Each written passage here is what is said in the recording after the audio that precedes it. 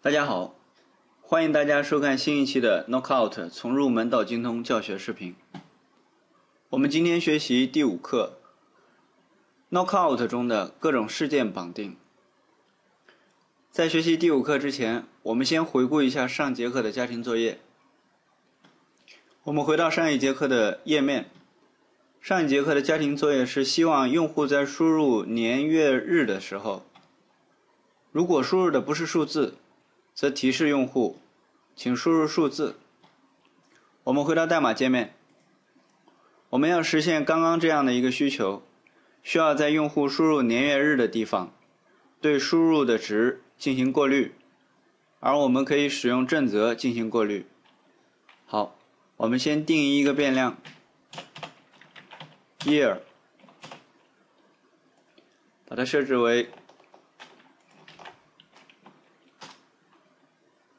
然后我们加一个判断，用一个正则，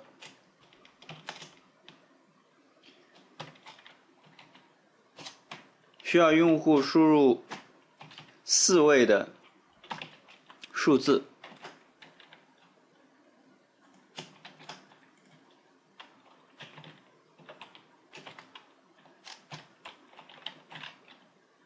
如果用户输入的不是四位的数字的年份，则提示用户请输入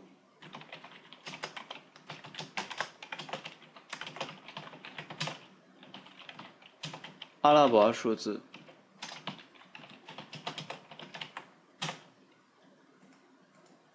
并返回 false。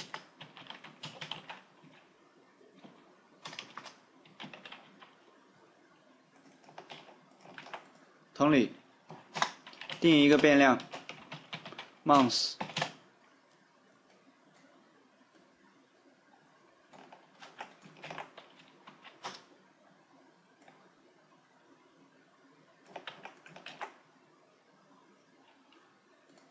月份允许输入两位的。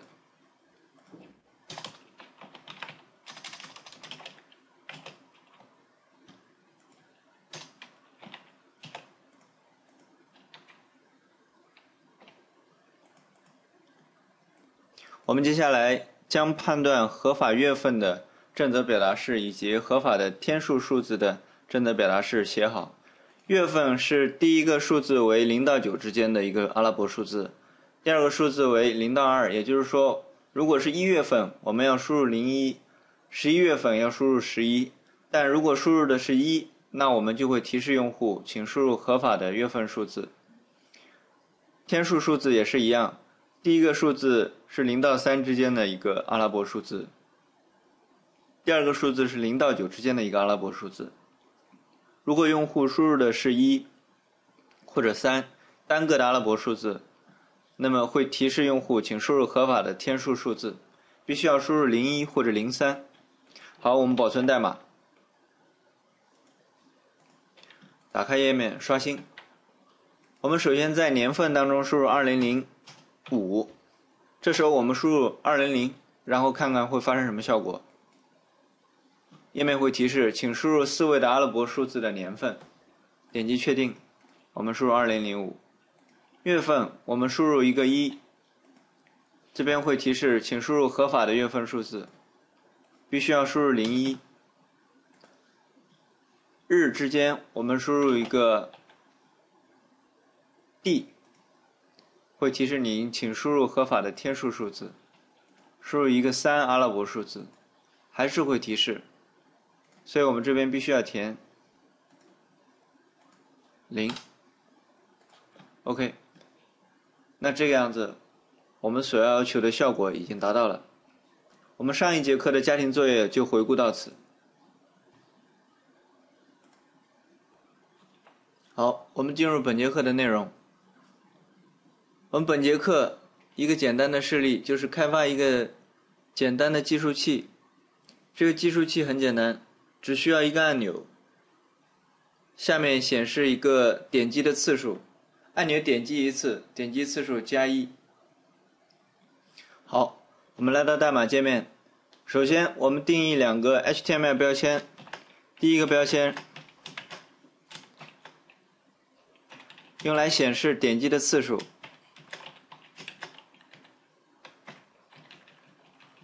默认为零。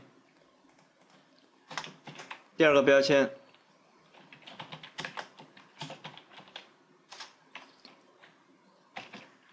定义一个 button 按钮，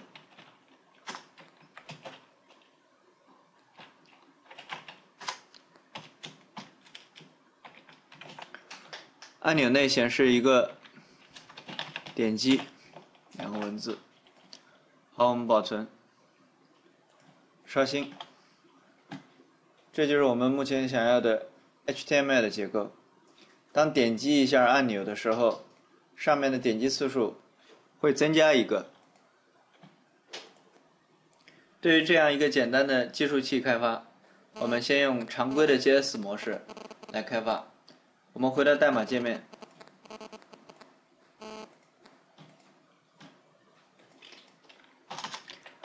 定义一个变量。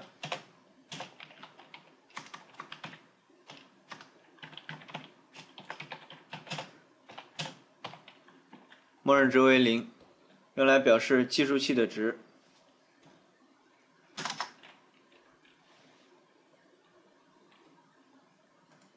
为按钮设置一个 ID，counter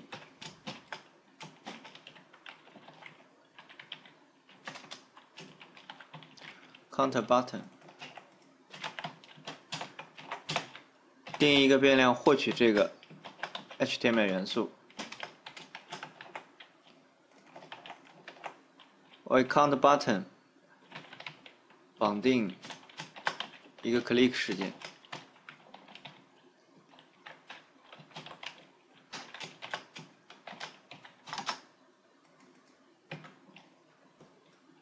当点击的时候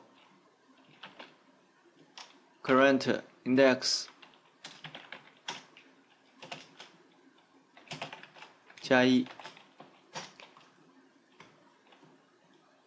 再为 B 标签设置一个 ID，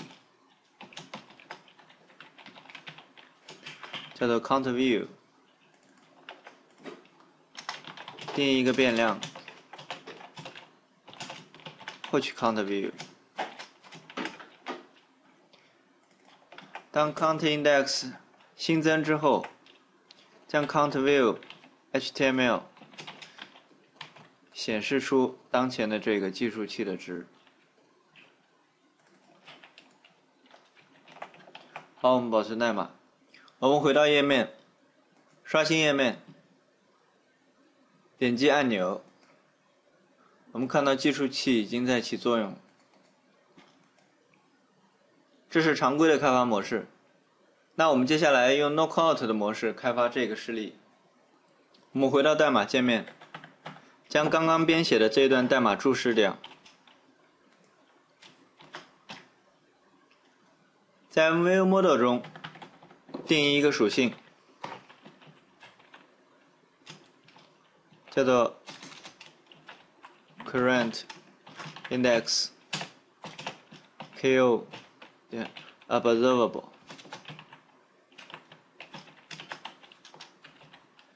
默认值为零。再定义一个方法。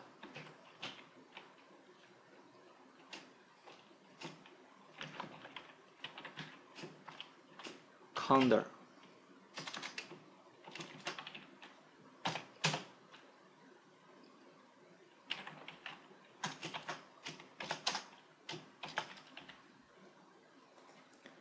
方法获取当前 current index 的值，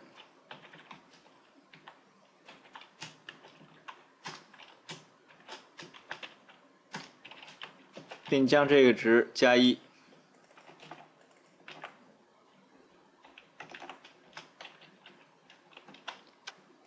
然后将加过一的值赋给 currentIndex 这个属性。好，接下来我们回到 HTML 的部分，为 B 标签绑定，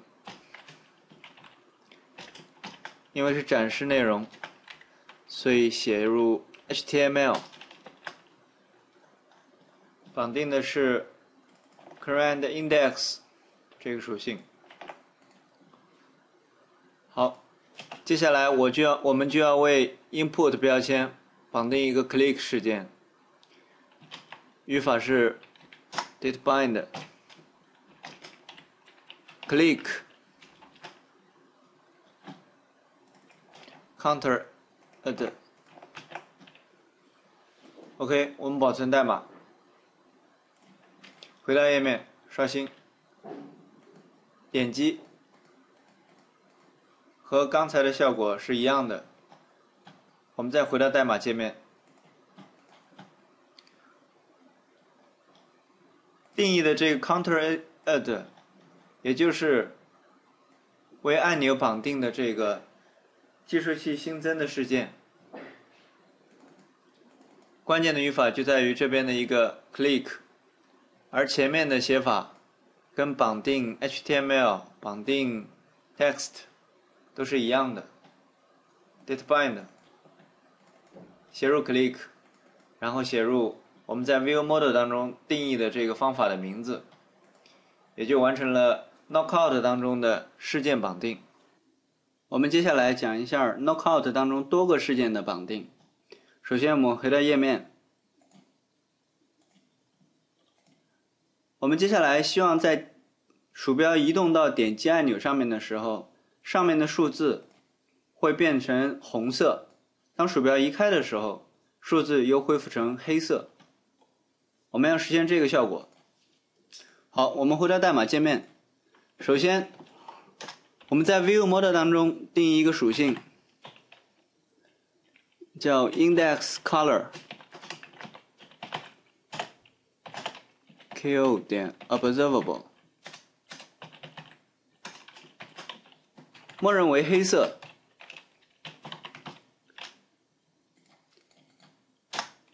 再定义两个事件，叫做 counter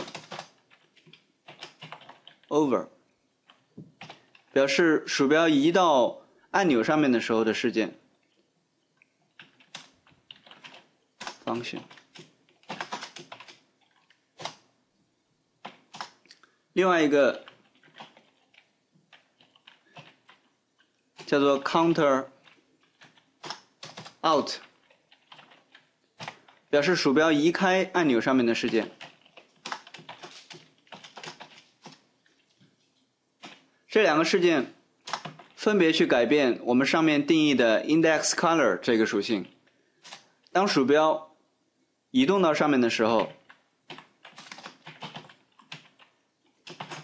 ，self index color 设置为红色。当鼠标移开的时候，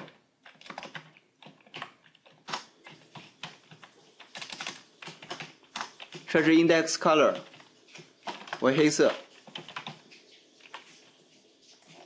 好，我们把这一个属性跟两个方法定义好之后，回到 HTML 的区域。首先，我们要在 B 标签上面定一个 style color。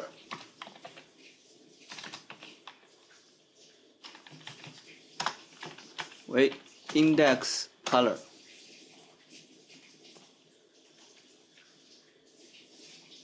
在按钮事件上面要新增两个方法，但这个时候我们就需要改变原来的定义事件的这个方法，需要写上 event，后面是 JSON 格式的。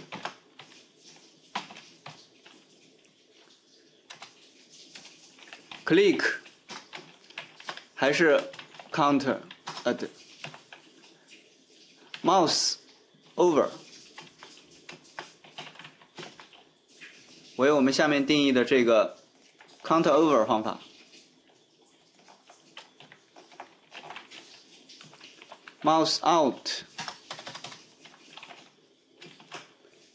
为 counter out 方法，将原来写的这一段删除，我们保存代码。